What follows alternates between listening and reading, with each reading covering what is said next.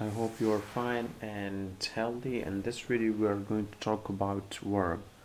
So, basically, a verb is a word which is used to express an action, state, or position. So, verb has three functions.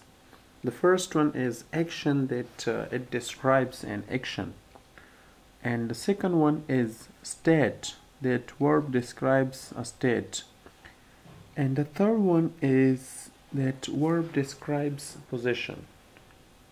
So let's do it one by one. The first one is that verb is a word which shows us an action. So these are the examples.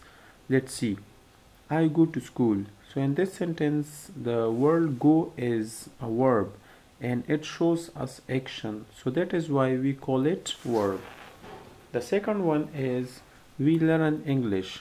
So in this sentence, you see that the word learn is a verb and it shows us an action. So that is why we call it a verb. He studies books. In this example the studies the word studies is verb because it shows us action.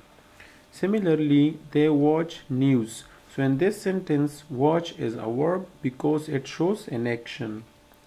Let's come to the second one part. The second one is state.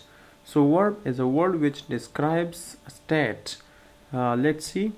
So it means that in each and every sentence the action is not important that we will always find the action in a sentence. Sometimes there will be a state okay? So let's uh, see that.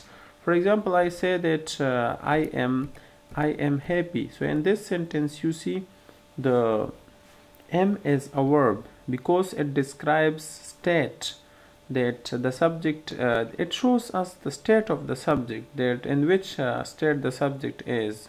So in this sentence m is a verb because it describes the state of the subject. Same is the case with the other examples like she is thirsty. So in this sentence you see is is a verb because it describes the state of that subject. We are hungry so in this sentence, are is verb because it describes the state of the subject. And uh, along with that, they are fine. So in this sentence, are is verb because it describes the state of the subject that they are fine.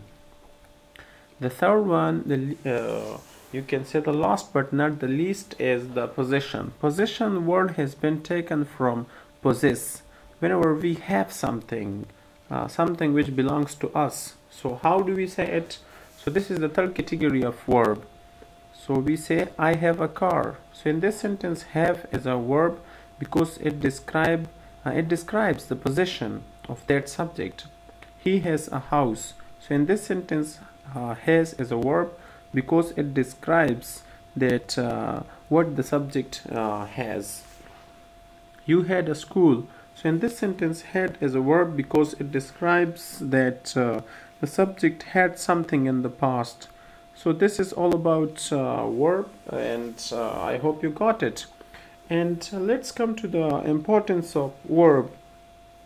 Verb is a very important part uh, in each and every sentence because uh, without verbs we cannot make sentences okay so let's see this example. For example I say that I am happy. In this sentence if I eliminate the am so it becomes I happy. So I happy means what? Uh, there are many possibilities here. I can say I was happy. Does it mean so?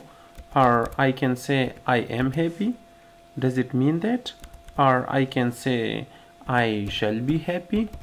Or other examples okay so if there is no verb so the sentence will be ambiguous. And uh, we will be in a perplexed situation and we will be wondering that what does it mean? So verb is the most important part in every sentence. And I can tell you more that uh, verb uh, is like a backbone in a sentence. If there is no backbone in a person so he can't uh, he can't do anything properly and uh, additionally I'll add that verb is like a soul in human body. If there is no soul so the, the person is dead. So same is the case with that. If there is no verb in the sentence so it means nothing. So uh, so we can say that verb is the most important part in each and every sentence and we must take care of that. So this was all about verb i hope you got it and uh, see you inshallah in the next video